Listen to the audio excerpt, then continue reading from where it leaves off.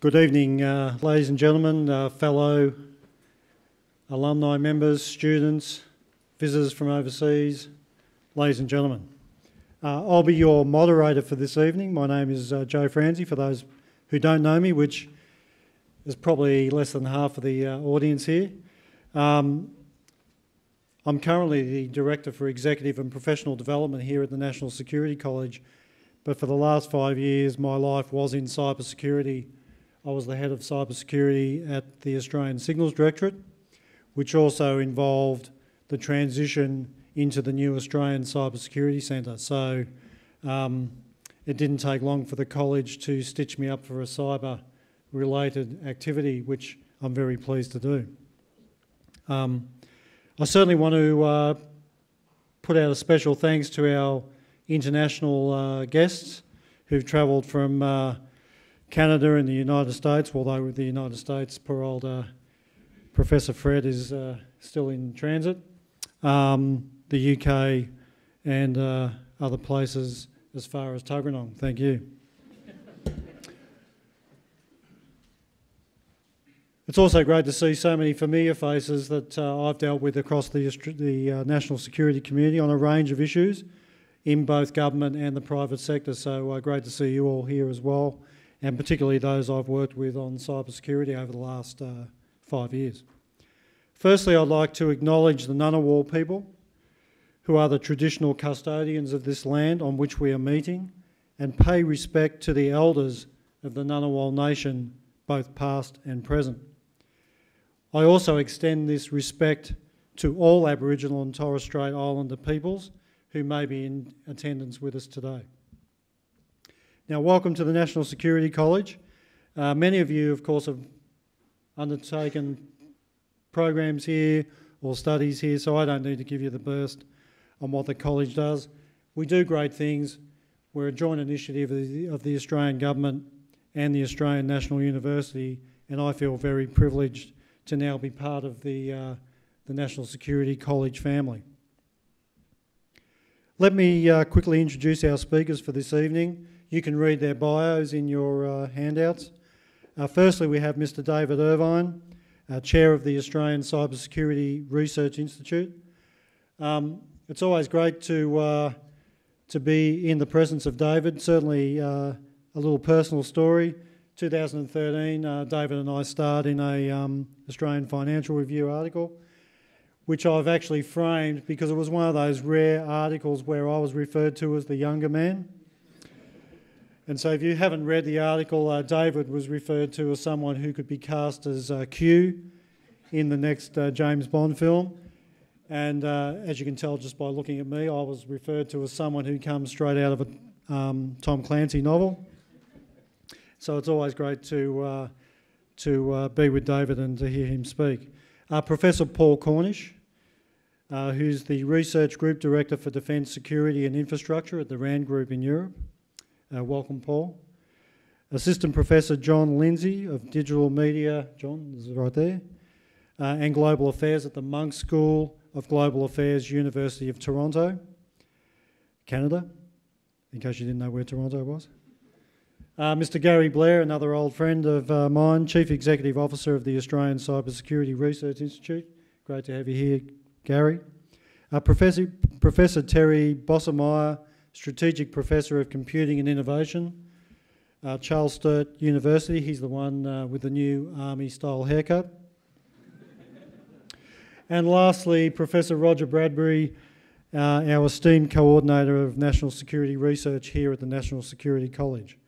Uh, some, an apology from Professor Fred uh, Cate. His flight, uh, he's from Indiana University, his flight was cancelled. Some great activity by American Airlines there, so he'll be with us hopefully in the next 24 hours. Fingers crossed. Just some housekeeping. Um, the first couple of portions of tonight's activities, uh, the talk by David and the five minute intro from each of our esteemed uh, panellists that will be on the record and recorded. The question and answer and uh, challenging session, uh, which I encourage you to get stuck into, uh, that will be off the record and will operate under Chatham House rules.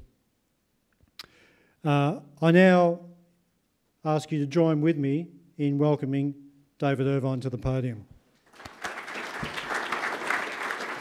Thank you very much. I, uh, look, this um, business of comparing me to Q or M or the Bond things has just gone a bit far. Um, I, you know, people said to me once, uh, oh, because as you know, Judi Dench was um, M for quite a while in the last few Bond movies, and people said, "Oh, you're the Australian Judi Dench." and I, I, actually took great pleasure in that. Oh, that's terrific. Until in the last but one Bond movie, um, Judi Dench got killed off, and I didn't think that it was necessary for nature to imitate art, so um, I didn't. And, th- and, then they replaced um, uh, replaced her with Ralph Fiennes, and I just don't have the figure for that. So anyway, but um, look, I, I just want to start with sort of two two themes which I think are relevant uh, for us today. And the first is just sort of the, to talk, think a little bit about globalisation and to think about the impact that that has had in all of its manifestations on the Australian economy. Um, you know, when I grew up um, and, and throughout most of my diplomatic career, um, the Australian economy was what I used to call a dig, pump, and dump economy you know, and, and, and we, well, we, there was a bit of clip in there too because there was still a bit of wool in, in, our, in our sort of economy. But um, we gradually became more and more dependent on the resource sector and the energy sector in a whole variety of ways. And, you know, when I was, um, when I was young, um, a third of the workforce was engaged in manufacturing. Um, and and uh, in the 60s, it was 25%. Uh, Today it's less than 10%. So what we've seen is a hollowing out of the traditional elements of um, um, the, the Australian economy. And um, uh, but governments have recognised this for a long time, and you know I don't think we've ever had a government that hasn't said we've got to be a smarter economy um, or whatever. Now the prime minister's come out with an innovative economy, and that that that is all terrific. The thing is, we've actually got to do something about it, and we need to move our economy up the value-added chain. That's my first point. The second point is, and this is uh, something in my lifetime that's been re really very significant, obviously, is that um, uh, we now live in, in an age where the uh, internet and, and information technology has taken off. And I'm very proud to be able to tell you that before most of you in this room were born, I had an Apple II computer. And this thing had a massive 64K of memory. And today, of course, my doorbell's got more than that. And, and, and so we've seen this, this huge uh, revolution uh, in in the internet, um, and uh, and my grandchildren are, and and indeed my children don't actually know of a world without these things. I'm old enough, Joe. Thank you very much to to remember that. So modern, but the, my point is this: modern life has become just so totally dependent on the IT world and the internet. It manages our infrastructure today. It does our banking for us. It Doesn't actually put money into my account, but you know what I mean. Um, it's our favoured vehicle of, uh, of correspondence and communication. It estranges us from our children and our grandchildren. Um, it entertains us constantly. Indeed, it, it, trips up our politicians and, and celebrities in glorious gotcha moments that um, uh, where but for the grace of God go we all. Um, in short, you know, we can't live without it. And we have become, in our modern world, incredibly dependent on IT technology and what it delivers for us. And it delivers an enormous amount of good.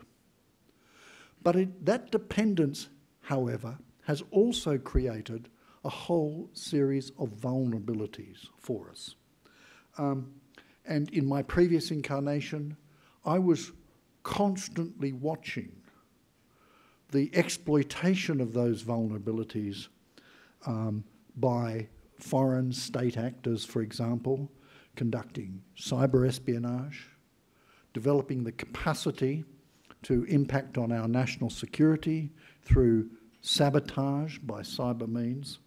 Um, I've seen terrorists use the cyber world and the internet uh, to communicate and to pr proselytize uh, and to draw um, well, over 140 young people, Australians, 40 of whom are, uh, are now dead, into, into the clutches of uh, ISIL or Daesh or whatever you want to call it in Syria. So, and, and so I've seen the, the, the, the, the uh, cyber capabilities being used for extraordinarily malicious reasons by state, foreign states. And the point is that the same tools that are available to foreign states are available to non state actors, to terrorists, to malicious cyber anarchists, and to serious organised crime. And the protection of our information on the internet, not from organisations like ASIO, of course, which operate with a warrant, but, um, but from malicious use um, against our, our, our, our, wishes and sometimes very much against our knowledge, has become an incredibly pressing issue in this world. Uh, and, and, and, and we have to work, find ways to prevent that malicious use of the internet negating the huge advantages and wonderful um, progress that the internet has brought us. So, in a sense, today, um, I, I want to bring those two themes together the theme that Australia needs to move up the value added chain, it needs to be, in my view, um, a significant player in the, in, the, in the technology of the modern world, both in research terms, in manufacturing terms, in commercialising research, uh, and so on. And at the same time, one of the areas where that can be achieved, in my view, is in the very, very pressing requirements we have of cybersecurity. Uh, and so, what I am very keen to see happen, um, and it's the reason why I, am very pleased to be associated with the Australian um, uh, Cybersecurity Research Institute, is that I would like to see a lot more effort devoted here in Australia uh, to the research and the development and the commercialisation of cybersecurity technology um, and, uh, uh, if you like, uh, uh, cybersecurity practices generally. One of the difficulties, however, is that we in Australia actually do not have a particularly good record in terms of industrial support and support of industry for research and development in our academic universities, uh, uni uh, institutions. And in fact, you know, in a recent survey I read, an OECD survey I read in terms of industry support for research and development generally, not just in the cyber area, Australia ranked 28th in the OECD. Mexico was above us.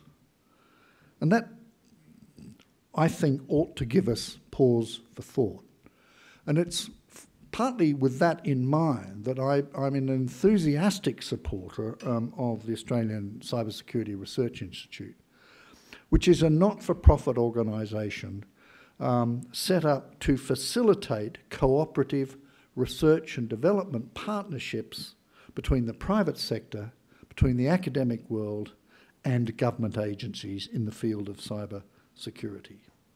And our goals uh, are clearly to uh, promote high quality, uh, multidisciplinary, multi institutional research into cybersecurity that will contribute real practical solutions. At the same time, another goal is to train and mentor the generation of Australians who can carry this forward for us. Um, a third goal is to translate these results into something that is actually commercializable, if that is a word. It's a very hard word to say. Um, to foster dynamic relations between the research, um, the user, uh, and the government uh, in this area. Indeed, to build up a national cyber security capability far beyond what we have now. And the um, um, which was set up about a year ago, um, and uh, has, has gradually taken off, is, um, uh, was, was set up with initially the founding support of Cisco from the industrial side and Edith Cowan University um, in Western Australia.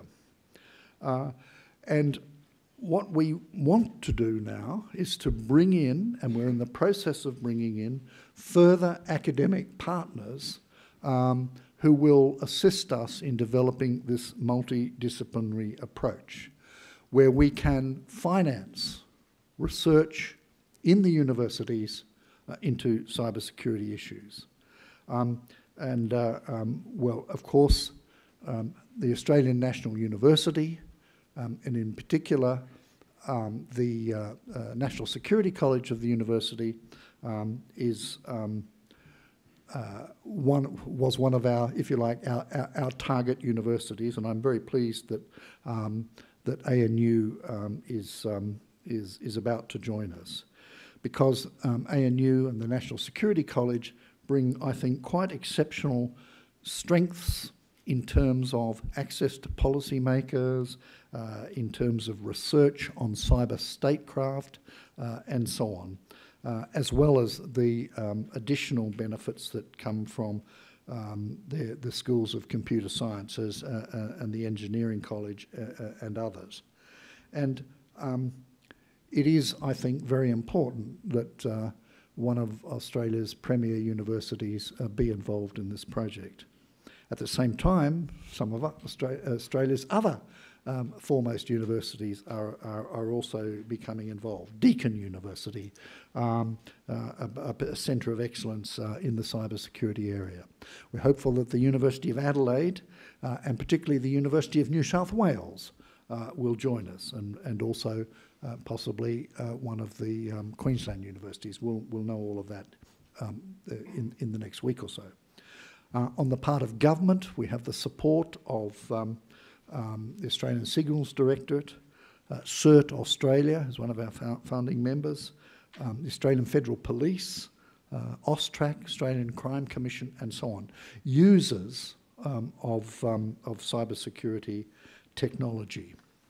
Um, in terms of where we are taking the research, I think uh, there are three main areas that um, um, if you like, three main themes. And they're pretty obvious, the first two anyway. Uh, the first theme is simply research into the next generation, pardon me, of cybersecurity technologies. The second is um, a bit more sort of focused on the key issues that anyone who's been associated with this business will recognise the issues of identity, of authorisation, of trust in, the, in the use of um, uh, the cyber world. The fourth one, I think, is actually, the third one, I think, is actually equally important, and that is why we've just given it the title legislation uh, and, uh, and statecraft. But the fact is that um, uh, we need not only research into the technologies of, um, uh, of, of, software and hardware that increase our cyber resilience, we actually also need research into um, all of the associated issues of privacy, of the legislation associated with that, uh, and so on. But equally importantly, the question of educating a modern generation into uh, the practices that will make us more resilient uh, as a cyber using nation. Um, and that requires education, it requires outreach, it requires sociological research almost uh, uh, in, um, in um, helping us uh, develop our national resilience. So there we are. The last thing I would say is that um, we have um, the, participating universities and uh, industry, and, and, those participants will grow in number, are also very keen to participate in the government's um, cooperative research centre scheme, which has been announced, uh, and which will enable government, if we, we're successful, will enable all of our funding to be matched by government. What that means is more PhD students, more opportunities for postgraduate study um, in the cybersecurity area, and, um, and, and ultimately, I believe the development uh, increasingly of a critical mass of cybersecurity capacity, which will help us in the end balance the huge advantages um, of the uh, of the IT world and the internet with uh, uh, an ability to counter the vulnerabilities that it causes. So thank you very much, um, and thank you again to um, to um, uh, ANU and the um, uh, National Security College, and a special thanks, um, if I may, to Cisco uh, and Telstra, uh, which have um, are our helping us host this evening. Thank you very much. Thanks very much, David. I think that was a great way to kick off the uh, week-long uh, series of uh, events that are part of the uh, college's uh, Cybersecurity Week. Um, I now call upon our esteemed uh, panel members, starting with Paul, to come up and just give us a five-minute um, set of remarks before we kick into Q&A. Thanks, Paul. Joe, thank you very much indeed. And um, before I begin, can I just say what a pleasure it is to be back here in, in Canberra and to thank um, Roger and everybody here at the NSC and indeed all the sponsors who have made it possible. It is, a, as I say, a pleasure to be back. I work for the RAND Corporation in their Europe office, which is in Cambridge in the UK. Um, but I also have affiliations with, with a number of other um, bodies, and these are really what I'm going to be talking about altogether. The first is that I'm a fellow of the James Martin School in Oxford, and we do a lot of work on cyber capacity. I'm also, to the alarm, if not derision of my children, I'm, I'm involved, I'm a member of the computer science department at University College London, uh, which also takes me into other areas. Um, and finally, I'm, I've been very pleased to be involved here at the NSC for the last, um, excuse me, for the last several years, uh, developing with Roger especially the strategy and statecraft. Indeed, all of us have been involved in this for the last few years. Um, so I've got uh, six very quick points to make about things I think are interesting. I would say this because these are things I work on at the moment. Um, the first is capacity building. We just heard a, a, brief mention of it. Every government, every international organization that's savvy with, with cyber is talking about capacity building. This is a very big thing at, at uh, the James Martin School in Oxford. This is why we were set up.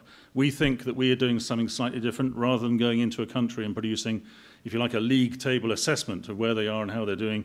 Ours is a self-help approach. We provide a, a, pack and we go and brief them and we let them get on with it. so far, we've done about 42 countries, including the UK, uh, and my colleagues have been to um, exotic places such as Bhutan, I did Jamaica, Senegal, and Ukraine even. Um, Ukraine was interesting. We helped them to re rearrange their cyber defense uh, thinking and strategy and so on.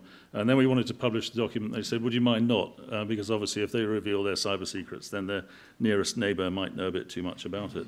We, we're very involved with the Organization of American States and the World Bank. And of course, um, one thing I'll be doing next week is looking, going down to Melbourne, uh, where we also have a very close and building connection with the government of Victoria, the Oceania Centre if capacity building is a, a, reasonable goal, then it sort of makes sense. Uh, this is a second stream of our work at Oxford to look at the problem, as it were. If a capacity is the solution, what is the problem? And we're looking at the problem of a cyber harm. How do you calculate or even assess uh, how bad things could be, not just in, in uh, cyber crime, but also in cyber terrorism and so on. Um, more generally, we're trying to produce both quantitative and qualitative methodologies to look at economical, economic rather, physical, uh, psychological, social, and strategic harm from cyberspace. The third is a topic I'm working on at RAND Europe, which is, I've called it here in, in inverted commas, I promise you, fighting in cyberspace. A big debate, as you all know, about cyber war, cyber warfare. Well, what does that actually mean in terms of uh, fighting traditional style conflicts? The Tallinn manual, Tallinn in Estonia, they produced the manual um, on uh, the relevance or the application of international law to conflict in cyberspace, and they've said it applies the law of war applies to cyberspace. Well, well so what? Um, how do you actually implement, uh, and what does it mean um, in real life, I suppose?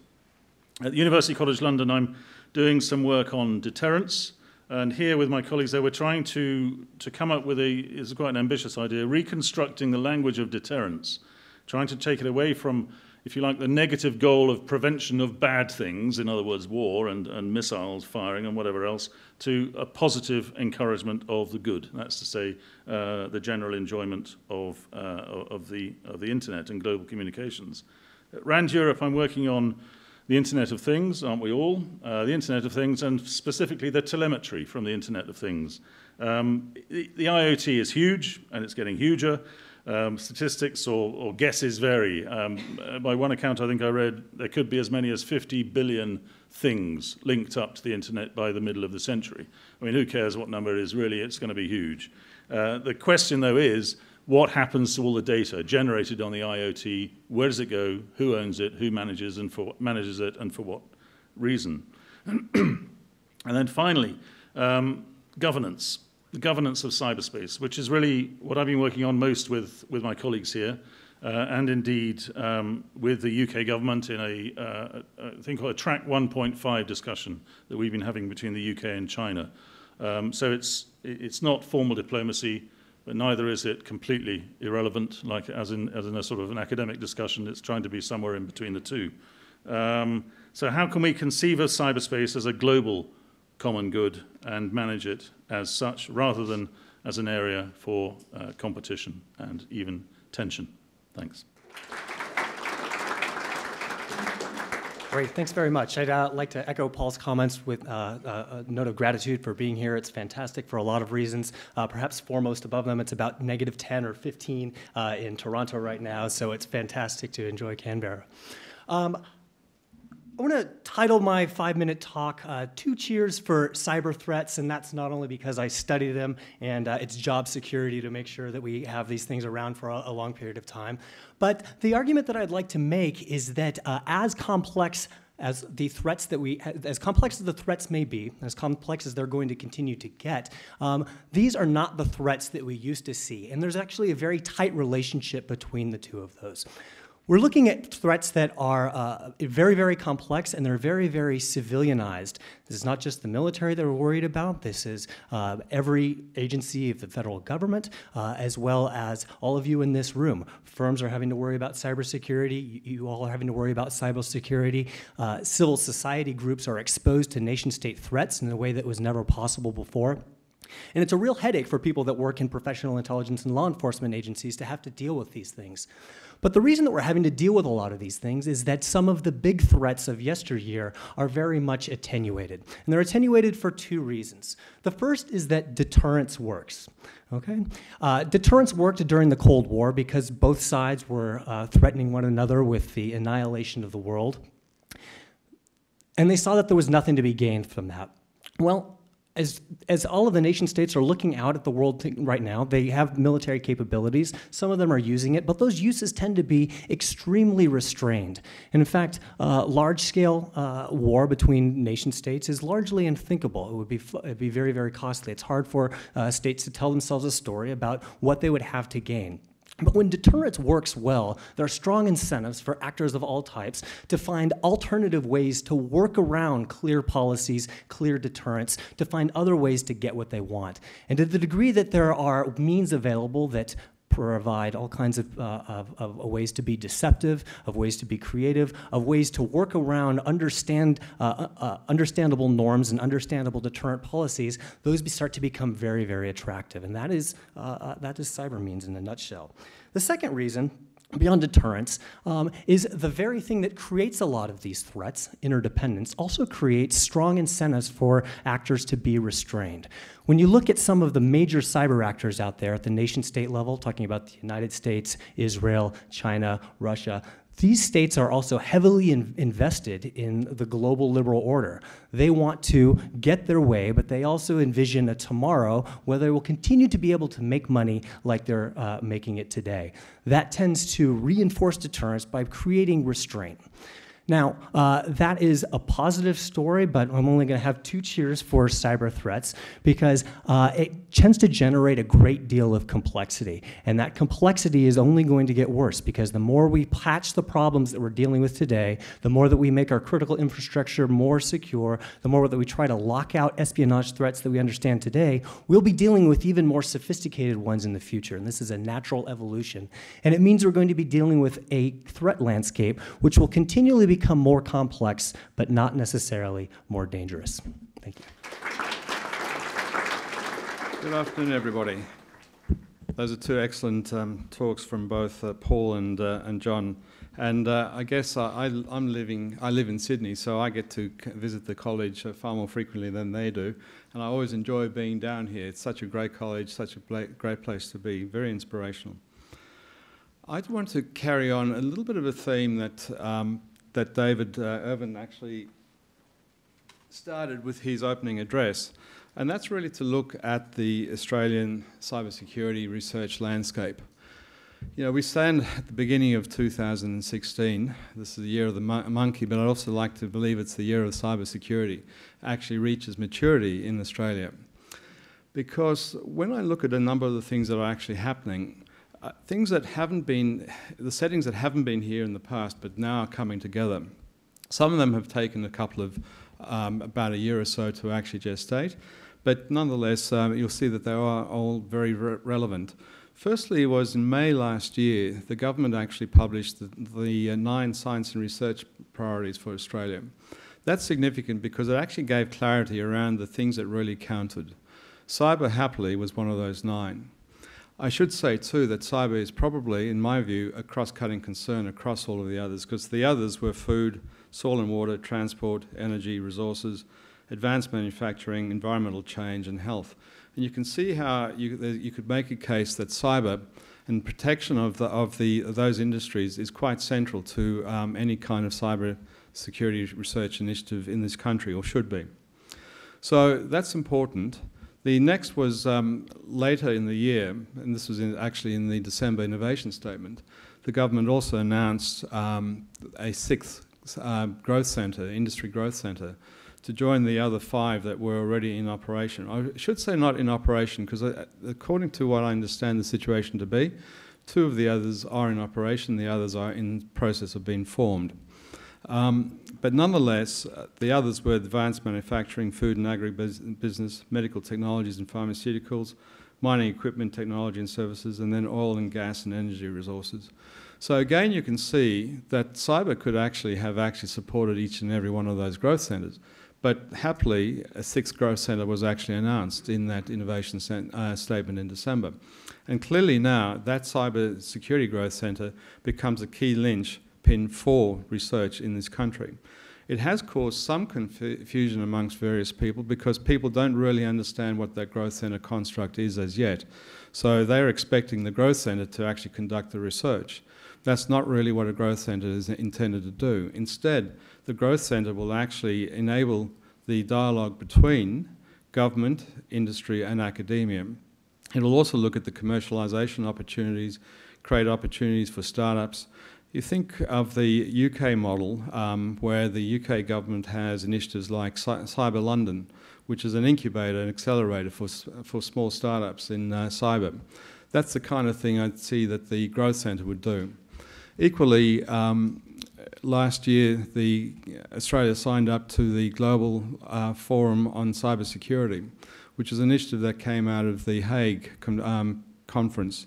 And again, I think that the right place for that kind of initiative to be housed would be within a growth centre uh, here in Australia. So those are two key things. And then, of course, um, in late December, the um, resumption of the CRC program was announced. And David did talk about that. But I just want to also emphasise that when the program was uh, announced, uh, the resumption was announced in late December, an emphasis was made on the fact that any CRC bid needs to demonstrate its value and relevance in the context of those nine uh, science and research priorities and also in the context of the growth centre model. So happily again you can see that all the things are coming together to support cyber in cyber research in Australia in ways that weren't possible uh, previously. And of course, we've got the, uh, the cyber security review uh, about to be released and the strategy about to be released in the next couple of months. We expect it will have some additional guidance on this particular issue and no doubt the defence white paper. When you look at it too, we're starting to see more formal dialogue between ourselves and our partners, such as the dialogue with the U US government, the annual uh, cyber security dialogue that was announced by the Prime Minister and the President about a month ago. Those are all very important initiatives in this regard. So that gives me real confidence that we're now starting to have the right settings, policy settings in this country to conduct this kind of research. That means that this looks like it's a, um, a laid misère that will easily get the uh, money and actually do the research. It's not that simple. David did also talk about some of the challenges, and I think those challenges do bear uh, considering because typically we don't have a very good track record in this country of collaboration between industry and academia. Um, as it, David mentioned in that OECD study, we really rank uh, around about 28th in the, uh, in the OECD countries. That in itself uh, is cause to pause and actually consider what is it that actually causes this to occur. My sense, and I've come from a corporate world, I've spent most of my life in, uh, in banking, and I like to believe that I can actually bridge the divide between academe and industry. But I can tell you it's hard because I can see on both sides people not really understanding what the other side does and not really understanding how to engage. There's a great degree of, I wouldn't say suspicion, but a reluctance to engage. In fact, um, that, so that would be one of the concerns I'd have. Um, the, uh, again, we've seen in this country a massive reduction in the R&D spend amongst most multinational corporations. There are some standouts in this regard who have not done that, like Cisco, one of our partners in ACSRI.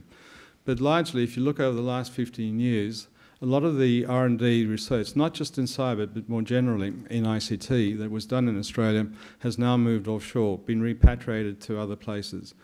And so the traditional powerhouses of R&D research in um, ICT, like um, Silicon Valley um, and Israel, have been joined by the UK and uh, now more recently by Singapore.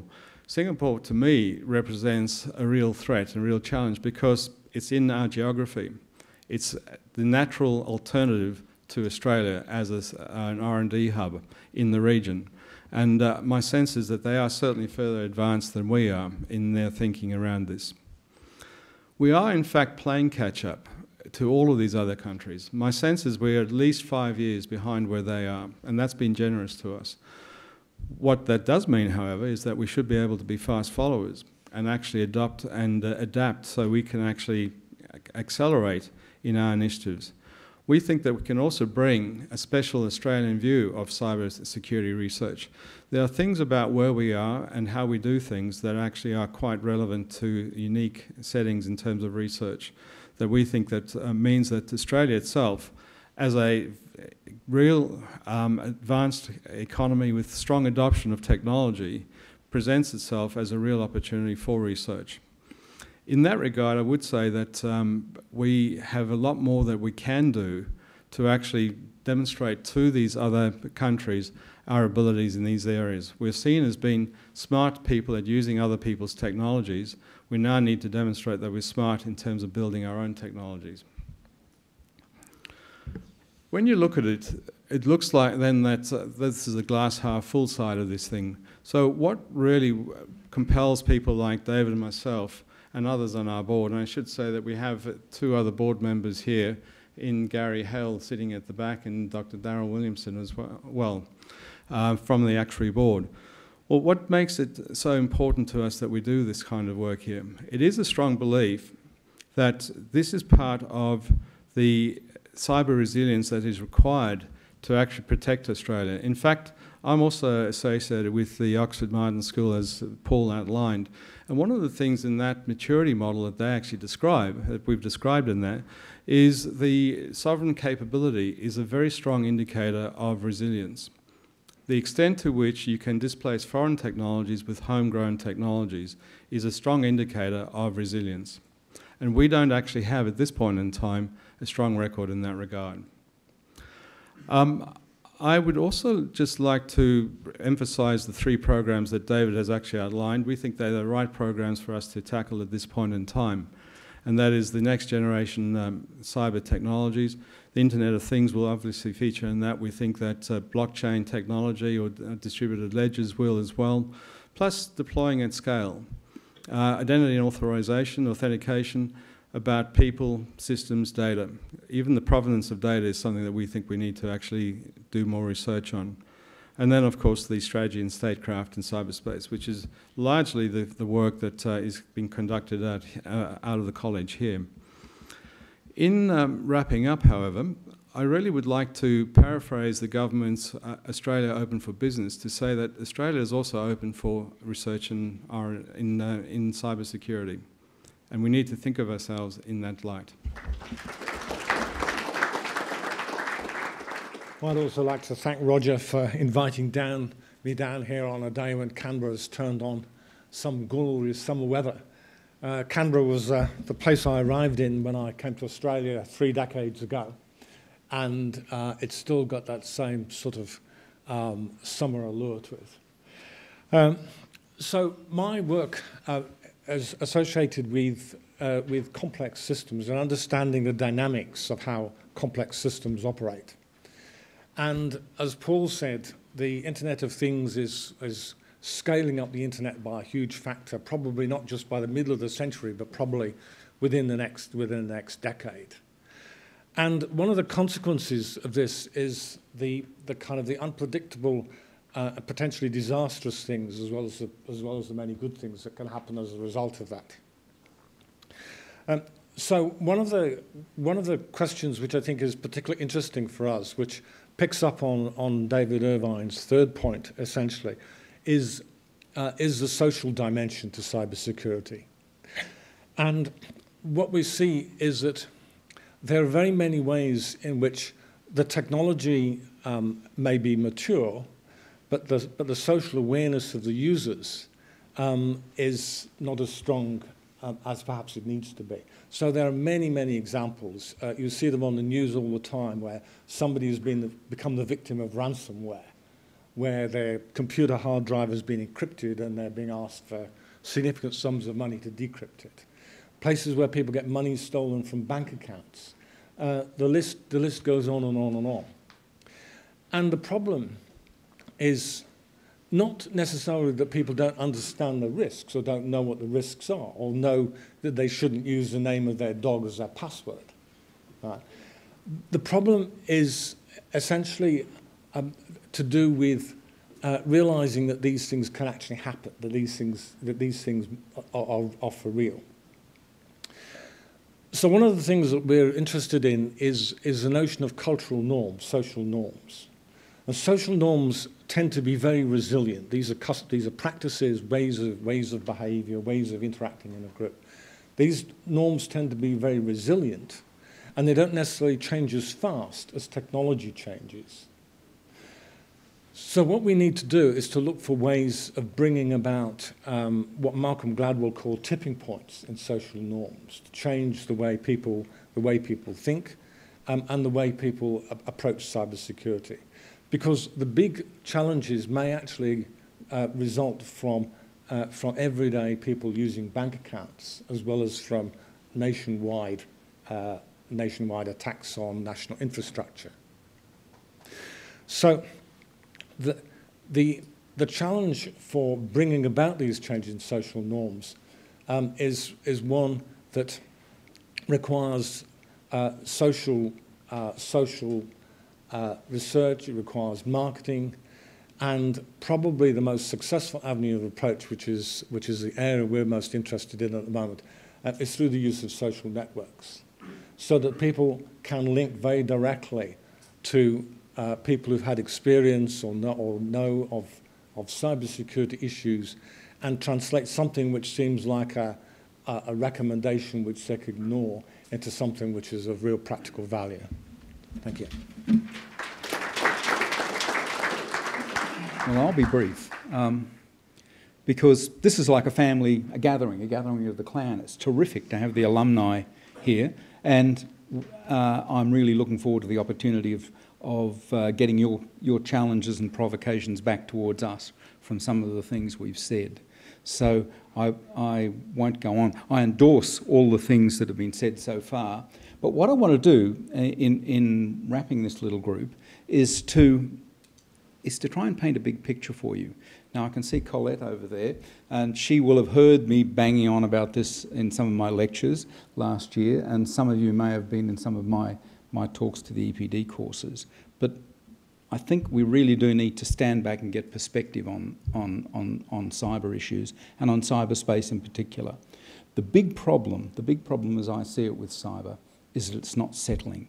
Cybersecurity is not settling because cyberspace itself isn't settling. It's moving at a huge pace, and that pace is somewhat faster than we're able to adapt to it.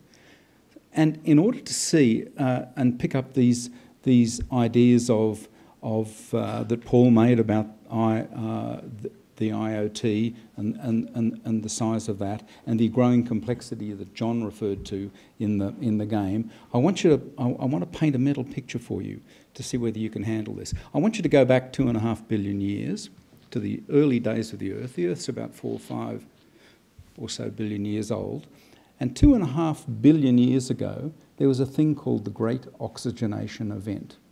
It lasted for about 500 million years and it changed the world. It changed the world by putting oxygen into the atmosphere. It created the air that we know today. It actually created the domain of the, of the air that we do stuff in today. None of what we see about us today could have occurred unless that oxygena- great oxygenation event had slowly, occur- had slowly developed. The planet wouldn't be like it is. I'm sort of talking planetary scales here.